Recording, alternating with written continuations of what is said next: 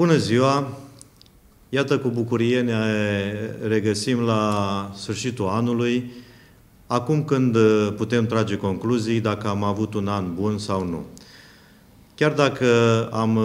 continuat activitățile la nivelul municipiului Moinești privind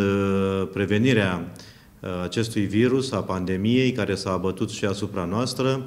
am încercat să gestionăm corespunzător această criză, să venim în sprijinul cetățenilor, a instituțiilor publice și iată că astăzi, la sfârșit de an, putem spune că avem un număr scăzut de cazuri în municipiul Moinești. Uh, am intervenit atunci când a fost nevoie, atât, atât la instituțiile de învățământ, cât și la, instituția, la Spitalul Municipal de Urgență Moinești. Am uh, coordonat activitatea școlară atunci când a fost nevoie online, dar uh, pentru acest lucru noi am uh, implementat proiecte cu finanțare europeană pe parcursul anului ce îl încheiem acum, atât prin accesare de fonduri europene cât și guvernamentale, intervenții și de la bugetul local pentru a realiza uh, măsurile ce erau impuse de la nivel național. Am accesat și am achiziționat în același timp materiale și uh, soluții pentru prevenirea acestui virus. Am uh, coordonat activitatea în ceea ce privește învățământul la distanță, învățământul online atunci când a fost nevoie și spuneam de implementarea unor proiecte cu finanțare europeană pentru educație și sănătate și aș menționa în mod deosebit faptul că în anul cel încheiem am finalizat trei școli trei școli uh, în care s-au investit peste 6 milioane de euro și am finalizat și o grădiniță nouă, tot prin fonduri europene, o grădiniță cu trei grupe care a fost mutată din uh, sediul creșei și am mărit numărul copiilor de la creșă, uh, celor care primesc servicii la creșă, de la 40 la 80. Sigur, toate acestea s-au făcut cu efortul Uh, nostru al autorității locale, colegilor mei din primărie, dar și a faptului că au apărut taxe de finanțare în acest sens, chiar dacă au fost pe finalul sesiunii 2014-2020. Iată că am finalizat deja trei școli și mai avem în lucru Liceul Grigore Cobălcescu, un proiect în valoare de 3 milioane de euro cu o finalitate la sfârșitul anului 2022 uh, și urmează școala Tristan Țara, un proiect de 7 milioane de lei pe fondul de mediu. Cum vă spuneam, atât în educație cât și în sănătate, finalizăm la spital un, un proiect în, finanțat de Compania Națională de Investiții, o extindere a unității de primire urgente, urgențe, uh, un proiect de 6 milioane de ron, cât și amenajarea unei parcări și a spațiilor verzi din fața spitalului. Dar nu numai în exterior, ci am lucrat și la interior, să spun așa, pentru faptul că sunt două proiecte, unul în parteneriat cu Consiliul Județean pentru amenajarea uh, amenajarea uh, ATI-ului, a sălilor de operație, cât și un proiect pe ambulatoriu, dotarea cu aparatură medicală în valoare de 2 milioane de euro, care este aproape la final și acesta la începutul lunii februarie va fi finalizat. Uh, pe lângă sănătate, pe lângă educație, populația are nevoie și de infrastructură, de apă, canal, rutieră și pot spune că a început licitația la nivel de Consiliul Județean, unde face parte și municipiul Moinești din Asociația de Dezvoltare Intercomunitară Bacău. Uh, investiția care va avea loc la Moinești este în valoare de 14 milioane de euro. Acolo sunt prevăzute noi rețele de canalizare, noi rețele de apă, Uh, reabilitarea rețelelor existente de apă, cât și aducțiunii către bazin, de la Cărăboaia, de acolo de unde vine apa la Moinești. Uh, în paralel uh, am depus proiecte la PNI pentru refacerea carosabilului acolo unde se va interveni pentru apă și canalizare, la CNI, strada Avram Iancu, 5 poduri la PNI, spuneam, Ehm, toate acestea se vor putea implementa doar după ce va începe și execuția rețelelor de apă și canal. Dar pot spune că și în acest an am realizat câteva lucrări de infrastructură rutieră, am asfaltat câteva străzi, le-am am reabilitat câteva străzi cu asfalt, am realizat vreo patru parcări în uh, zonele unde nu se intervine pe proiectul pe care îl avem de implementat în anul ce urmează pe mobilitate urbană și pot spune că un succes deosebit este faptul că în luna noiembrie am semnat contractul de 5 milioane și jumătate de euro pe mobilitate urbană pentru strada Mihai Eminescu, George Coșbu, Capitan Zăgănescu, unde se vor realiza trotuare, prelor de ape pluviale, spații verzi, iluminat ornamental, piste de biciclete, sistem de supraveghere. Cu siguranță va fi unicat acea, acea zonă în ADR Nord-Est, întrucât aceste proiecte pe mobilitate urbană nu se desfășoară în altă parte, ci la Moines. Suntem Uh, singurii care am accesat pe această axă cu acest domeniu de dezvoltare a, a sistemului pietonal și uh, bike. Uh, astăzi am semnat chiar s-a adjudecat licitația pentru cel de-al doilea proiect pe mobilitate urbană, valoarea este de 10 milioane și jumătate de euro. Am spus întotdeauna că acest proiect va schimba fața orașului și la nivel urban se vor realiza lucrări de reabilitarea trotuarelor de pe strada Tudor Vladimirescu, Zorilor, Ion Creangă, Libertății, Vasile Alexandrii, Schelei, carosabil nou și incintele de blocuri cu, vor fi reabilitate cu pavaje, borduri, bănci, coșuri, iluminat ornamental, de asemenea un sistem de supraveghere pe toată lungimea pistei de biciclete. Vom avea piste de biciclete în municipiul Moinești 8,5 km cu sistem de supraveghere iluminat ornamental, cum vă spuneam, Uh,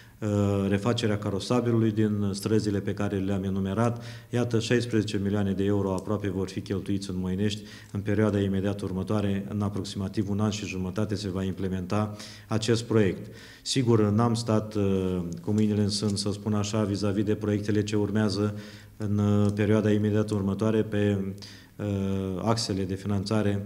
cu fonduri europene pentru perioada 2021-2027 și deja avem la licitație primul proiect din ADR Nord-Est. Pe mobilitate 2, spunem noi, pentru că cei 9,6 km de drum național vor avea, uh, se vor construi trotuare, preluare de ape pluviale și acolo vreo 4 km de piste de biciclete, sistem de supraveghere, se va lărgi strada Mihai Eminescu în zona Găzărie, intrarea dinspre Bacău, realizarea acelui sens giratoriu și o pasarelă peste gara Moinești, un proiect care deja este în procedură de licitații, se află în catalogul electronic unde așteptăm oferte pentru realizarea SF-ului și a proiectului tehnic și urmează, după predarea proiectului tehnic, realizarea caietului de sarcini și procedurile de licitație pentru execuție. Sunt sigur că vor apărea axe de finanțare noi și uh, pe fonduri europene și uh, așteptăm PNRR-ul, așteptăm PNI-ul, Plan Național de Investiții, unde vă spuneam că și acolo am depus proiecte. Municipiul Moinești este într-o plină dezvoltare, spun eu, la atâtea proiecte câte am accesat și nu puține, pentru că menționez aici, avem 10 proiecte cu finanțare europeană în derulare, două finalizate în anul ce îl încheiem. Și cu siguranță inițiem proiecte noi, așa cum vă spuneam.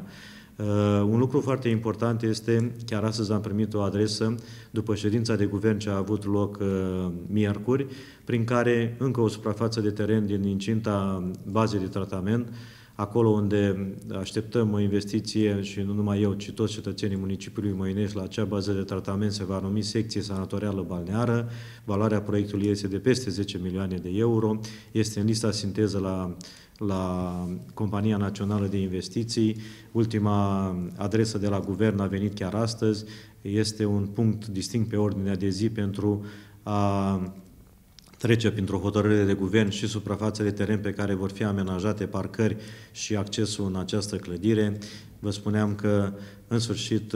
avem speranța că se vor începe lucrările cât de curând acolo, după ce Compania Națională de Investiții va realiza procedura de licitație. Uh, sunt licitații finalizate și contracte semnate cu ordin de începere la două noi investiții prin Compania Națională de Investiții. Una este bazinul de not didactic de pe fostul sediu al Strandului, o valoare de 9 milioane de lei, contract deja semnat la CNI, urmează realizarea proiectului tehnic și a execuției, este un pachet, licitat deja stabilit uh, constructorul, dar și o piață bazar în zona cartierului Lucăceș, care, la care deja au demarat uh, lucrările. Uh, bineînțeles că fiind un an cu pandemie, nu am putut realiza acel calendar de evenimente, dar totuși să ținem cont că nu am sărit de Ziua Culturii Români din ianuarie, nu am sărit Raliul Moldovei, Festivalul Vis de Stea din uh, vară, unde au venit peste 200 de copii din România. La Raliul Moldovei știți că au fost peste 50 de echipaje. Am avut chiar și zilele orașului într-un format așa cum ne-am obișnuit cu activități culturale, sportive, am premiat cadrele didactice pensionare, am premiat legendele sportului românesc, am uh, realizat un spectacol în Parcul Băi pe scena pe care am construit-o acolo, am uh, realizat activități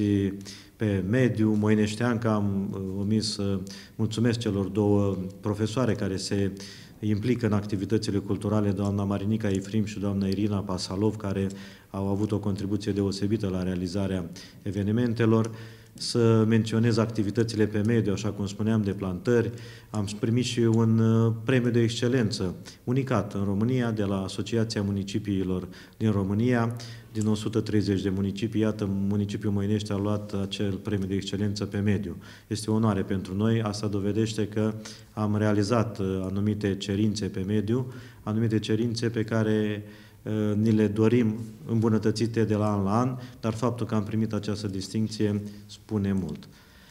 Eh, nu aș vrea să transform acest mesaj într-o campanie electorală și de aceea am să mă opresc să vă asigur de toată implicarea mea, toată implicarea colegilor mei din primărie, dar și să mulțumesc Consiliului Local pentru că a fost alături și este alături de executivul primăriei și a votat atunci când am uh, promovat proiecte de hotărâre viabile, au votat și dumnealor, au fost de acord la rectificările de buget, la proiectele pe care uh, au, au trebuit să le aprobe și iată, astăzi putem spune că încheiem un an uh,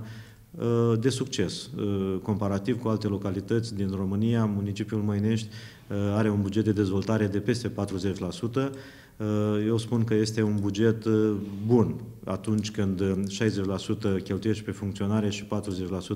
pe dezvoltare. Așa cum spuneam, uh, le mulțumesc tuturor factorilor implicați în ceea ce fac pentru dezvoltarea municipiului Măinești, spuneam celor din primărie, dar și celor de la instituțiile publice din municipiul Măinești. Și mă refer aici la Spitalul Municipal de Urgență, la instituțiile de învățământ, la Centru de de îngrijire a persoanelor vârstnice, la Direcția de Asistență Socială, uh, Poliția Municipală, care a fost mereu aproape la evenimentele noastre, precum jandarmii și pompierii, Iată că împreună putem face lucruri frumoase și de aceea le mulțumesc lor, dar nu în ultimul rând dumneavoastră, cetățenilor municipiului Moinești, care vă plătiți taxele și impozitele, care sunteți parte la evenimentele noastre și numai împreună putem uh, avea un oraș așa cum ne dorim noi, un oraș european. De aceea, la sfârșit, vreau să vă urez în primul rând să aveți cu toții sănătate, multe împlinire alături de cei dragi și un călduros la mulți ani.